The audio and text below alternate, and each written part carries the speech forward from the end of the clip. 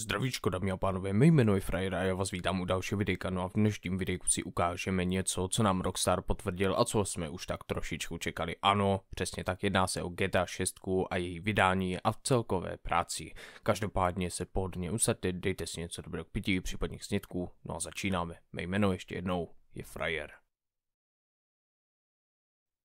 Jak už asi víte, je to úplný internet, prostě dalo se to čekat, tak uh, Rockstáři oznámili oficiálně, že pracují na GTA 6. Um, mé pocity jsou takové, že jo, i ne. Jako očekávat o tom můžeme maximálně lepší fyzičku, grafiku, nějaký ten příběh, um, můžeme se těšit na ženskou postavu, ta je myslím také potvrzená. Nicméně uh, Rockstáři také řekli, že na té hře teprve pracují, takže nějaký ten datum vydání bychom mohli čekat spíše až tak za rok, dva.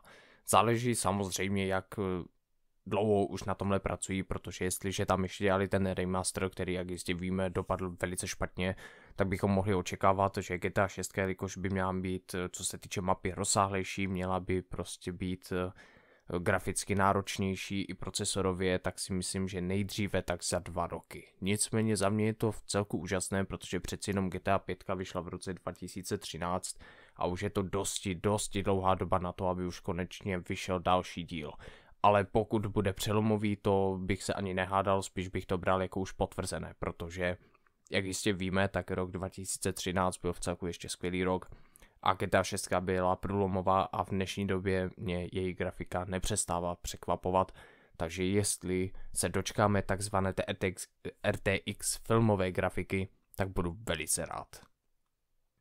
S tím samozřejmě, že můj počítač asi zapláče, protože si myslím, že už budu jeden z těch, co si asi nezahrajou ale mám v plánu tuhle počítačovou sestavu trošičku vylepšit, upgradeovat takzvaně, takže si myslím, že něco by přijít mohlo, ale toho předbíhám pokud by samozřejmě nebyla ještě jediná cesta i do konzole.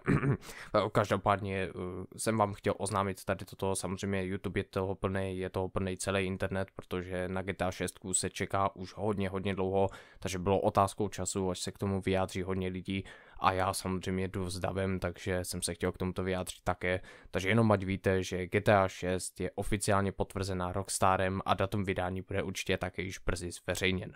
Takže to je ode mě zatím vše. No a uvidíme se samozřejmě v dalším videjku. Takže dámy a panové, pokud se vám tohle videjko líbilo, zanechte like, případně odběr, nějaký hezký komentík, co bychom mohli natočit příště.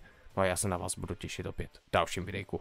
Lidi, hlavně se mějte, ale ve zdraví. Čus.